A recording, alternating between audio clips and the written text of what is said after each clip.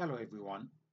Today we're going to demonstrate how to create a bar graph in Excel and add a standard deviation on each of those lines in the bar graph. Now, it might be standard deviation or confidence interval depending on what data you're using, what kind of data you're using. For today we are using uh, values that have standard deviations in them. Uh, here we have just a dummy data of candidate scores by some ethnic groups, white, um, white, black, or Hispanic. We are going to create the bar graph. To do so, you highlight the data you want to create the graph with, and then you choose this you select the two-dimension col uh, column of bar graph, click on it, and it gives you the graph that you can modify as needed.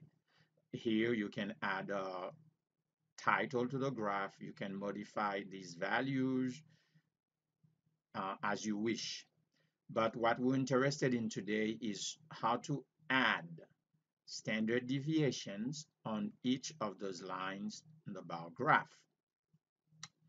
To, in order to do that, you select for each line, for example here, what represents the black, you select it. While it's selected, you go to on the top here where it says add chart element you click on it and you choose error bars and you move your cursor over. You do not select any of those. Even if here it says standard deviation, it's not going to help to use it. You click on the line that says more error bar option. When you click on it, you have the format error bar column that comes here. We are using uh, Microsoft uh, Excel 2016, so that's where it is found. Other versions of Excel will have it in a different location, you, but it, it will all give you approximately the same kind of information. What you need on the format error bar option, you go to custom, you click on it, and you click on specify values. Notice that we are working on the black options, the blue. Now you hit specify values and you have a new window that comes up, a small window, which you can move on any side of the screen to help you see better what you're doing. Now, I already know those are the standard deviation values for all these candidates A, B, C, and D. So here for positive value, positive error, error value, I'm going to select the standard deviations I need here. Rem remark, uh, notice that as I select them, the they appear here. And then I move the cursor to the second one. You can delete this or it was already highlighted. And then you select the same numbers for the negative values. And that's it. Now you have both the positive error value the negative error value, you hit OK. As I hit OK, look at the standard deviation lines that will be on top of the blue value, blue uh, bar that represents the blacks. Here we go. And now you see all those values are shown on top as the standard deviation uh, range for those values.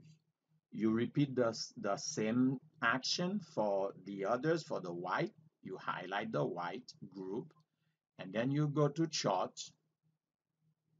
error bar, more error bar option.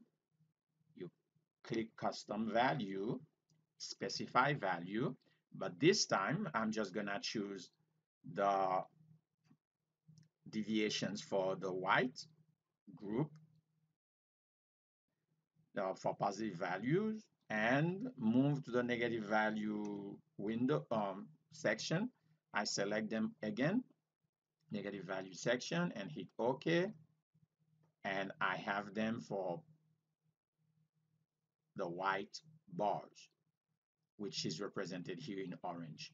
Then I'm gonna move for the Hispanic group. Same thing.